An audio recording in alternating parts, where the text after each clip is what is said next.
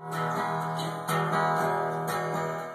were out on a date in my daddy's car. We hadn't driven very far, and up in the road, straight ahead.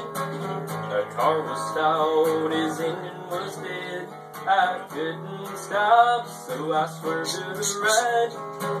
I can't forget the sounds at night, the spilling tires, the breaking glass, the painful scream that I heard last. Oh, where, where could my baby be?